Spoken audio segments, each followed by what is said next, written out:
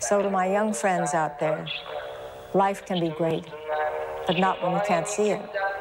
So, open your eyes to life, to see it in the vivid colors that God gave us as a precious gift to His children.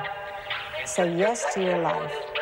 And when it comes to drugs and alcohol, just say no. No, no, no, no, Pablo, no, no, no, no.